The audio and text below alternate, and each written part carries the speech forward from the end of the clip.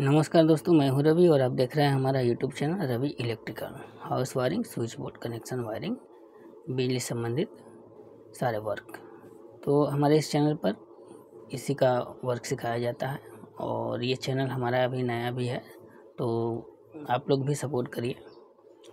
तो दोस्तों, सबसे पहले अगर आपने हमारे इस चैनल को सब्सक्राइब नहीं किया तो सब्सक्राइब कर लीजिए और बेल आइकन प्रेस करके और पे भी क्लिक कर लीजिए ताकि वीडियो की नोटिफिकेशन आपको समय समय पे मिलती रहे और वीडियो पसंद आए तो वीडियो को लाइक कीजिए और ज़्यादा से ज़्यादा अपने दोस्तों में शेयर भी कीजिए। तो दोस्तों, पहले से लगे बोर्ड में, पहले से बोर्ड लगा हुआ है और उसमें बिजली सप्लाई पहले से ही है। अगर उसमें हम अगर इन्वर्टर का कनेक्शन करना चाहें तो किस तरह से करेंगे? तो इसी टॉपिक पर वीडियो है हमारा तो चलिए चलते हैं वीडियो की तरफ़ और देख लेते हैं। तो दोस्तों, इसके पहले हमने जो वीडियो बनाया था तो उस वीडियो में इसी बोर्ड का कनेक्शन करके हमने आपको दिखाया था।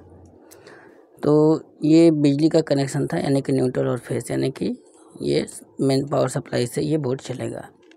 तो अब मान लीजिए कि हमें ये पहले से बोर्ड लगा हुआ है, इसमें सप्लाई पहले से है, और अब हमें इसमें इन्वर्टर का कनेक्शन अगर करना होगा तो हम कैसे करेंगे? यानी कि इन्वर्टर का वायर हम यहाँ इसमें हम कैसे जोड़ेंगे?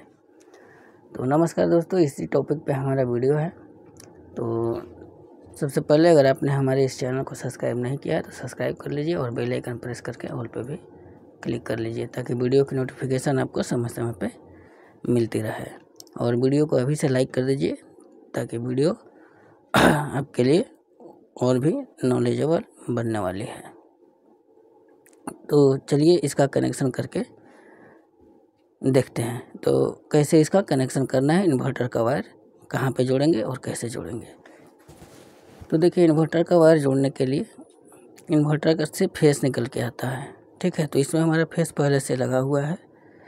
ये देख सकते हैं, ये लाल वाला हमारा फेस है, जो कि स्विच के ऊपर वाले पॉइंट से सॉकेट के एक पॉइंट पे आया हुआ है।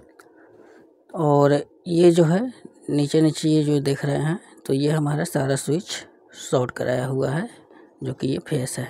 ये देख सकते हैं, ये लाल वाला तो ये फेस है। तो इन्वर्टर का मतलब है कि एक फेस और हमें इसके अंदर इंटर करना है। ठीक है? और न्यूट्रल यही रहता है। न्यूट्रल सारे का यही काम करता है। तो हमें इसके अंदर एक फेस और इंटर करना है और न्यूट्रल हमारा यही वर्क करेगा। तो चलिए इसको करके देखते हैं। तो देखिए, सबसे पहले हमें क्या देखना है कि मान लीजिए हमें एक सॉकेट और एक लाइट और एक फ़ैन रेगुलेटर तो ये तीन का मान लीजिए हमें कनेक्शन करना है, जो कि हमारे इन्वर्टर पॉइंट से तो सबसे पहले इसका हम फेस वाला कनेक्शन देखेंगे कि कहाँ पे जा रहा है। तो देखिए, इस लाइट का जो फेस का कनेक्शन है, ये हमारा रेड वाला तो इस किनारे वाले स्विच पे है। और ये फ़ैन रेगुलेटर की बात करें तो फ़ैन रेगुलेटर का ठीक इसके बगल में है। और फाइव पिन सॉकेट का ठीक इसके बगल में, यानी कि इधर से हमारा एक, दो, तीन, ये तीन स्विच हमारा पड़ रहा है। तो इसको हम क्या करेंगे इसे हमें, इस तीन स्विच में हमें अलग से एक फेस देनी है। तो इसे क्या करेंगे कि हम यहाँ से इसे कट कर देंगे, ठीक है? यहाँ से हटा देंगे। तो ये देख लीजिए, इसको हटा दिए। ये कट कर लिए हम। अब ये तीन स्विच अलग हो गया और ये तीन स्विच अलग हो गया। तो ये तीन स्विच जो है, ये हमारा बिजली से वर्क करेगा और ये तीन स्विच जो है, ये हमारा इन्वर्टर से काम करेगा। और इंडिकेटर देख लेना है, इंडिकेटर की सप्लाई हमारी कहाँ है। तो इंडिकेटर का देखिए फेस जो है, हमारा यहाँ से आ रहा है तो ये इंडिकेटर का फेस है तो यहीं पे आके ये रुक जा रहा है। तो इसको हम क्या करेंगे कि यहाँ से छोड़ा करके, अब इसे हम इस वाले में एक, दो, तीन, ये तीनों में से किसी एक पे हम ला के जोड़ देंगे। यानी कि जो मेन पावर सप्लाई हम इसमें देंगे, ये मेन पावर सप्लाई की है तो ये मेन पावर सप्लाई हमारा इस स्विच पे आना चाहिए, इस तीनों पे। तो यहाँ से इसको छुड़ाएँगे और यहाँ जोड़ेंगे। तो चलिए इसको यहाँ से भी कट कर लेते हैं। और इसको हमें यहाँ जोड़ना है। तो वायर छोटी पड़ रही है तो हम दूसरी वायर लेंगे और यहाँ से इसको खोल लेंगे।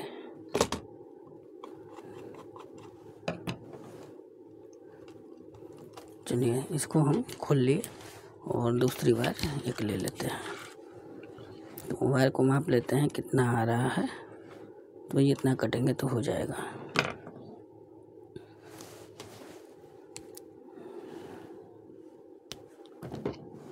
तो चलिए इसका कनेक्शन हम कर देते हैं। जो कि ये पहले से था, इस तरह से केवल चेंज करना था। तो वायर छोटी पड़ गई तो हमें बदलना पड़ रहा है।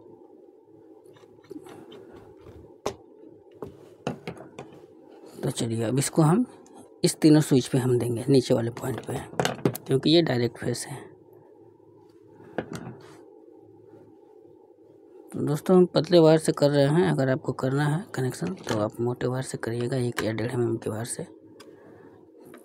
तो हमें आपको सिर्फ़ दिखाना है और सिखाना है, इसलिए हम इस वायर से कर रहे हैं। तो इस तीनों स्विच से, स्विच के किसी भी भी एक पे जोड़ देंगे। चलिए तो ये हमारा हो गया मेन पावर सप्लाई बिजली का। देख सकते हैं, ये लाल वाला आ रहा है सीधा, और ये फेस हमारा इस तीनों पे ठीक है न्यूट्रल यही रहेगा। बार बार करें न्यूट्रल यही रहेगा। न्यूट्रल में कुछ छेड़छाड़ नहीं करना है। अब लेते हैं इन्वर्टर कवर दूसरा फेस। ठीक है तो इन्वर्टर का वायर हमें एक, दो, तीन, ये तीन स्विच है तो यहाँ पे हमें लगा देना है। और बाकी सब जैसे है, बस वैसे ही रहेगा। तो चलिए इसको हम यहाँ पे लगा देते हैं। ये हमारा दूसरा फेस इसके अंदर इंटर हो गया।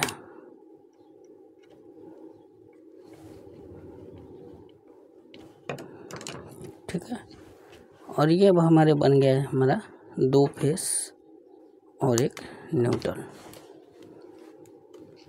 तो ये हमारे तीन बार जो दिख रहे हैं, ये देखिए, ये तीन बार जो दिख रहे हैं तो काला वाला न्यूट्रल है और लाल वाला जो है, ये हमारा मेन फेस है और ग्रीन वाला जो है, ये हमारा इन्वर्टर का वायर हो गया।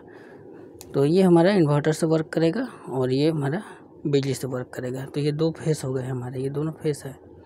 ठीक है इन्वर्टर से फेस ही निकल के आता है। और इंडिकेटर जो हमारा जलेगा, वो मेन फेस से जलेगा, क्योंकि मेन फेस का ही कनेक्शन इंडिकेटर पे है। तो बस ऐसे ही कनेक्शन इसका होना है। तो ड्राइंग में भी हम इसका कनेक्शन कर देते हैं। तो इसको हम अलग इसलिए किए थे कि ताकि आपको अच्छे से समझ में आए। तो देखिए इस पर हम हरे कलर से खींच देते हैं। ये इन्वर्टर की है मेन फेस और यहाँ से तीसरा कौन सा है? ये है। तो यहाँ से हम इस फाइव पिन सॉकेट को दे देते हैं। ये है। और इसके बाद में दूसरा वाला जो स्विच है, हमारा फ़ैन रेगुलेटर का है। तो फ़ैन रेगुलेटर से जो हमारा आया वो यहाँ आ जाएगा। और तीसरा वाला स्विच जो है, ये हमारा लाइट पॉइंट का है।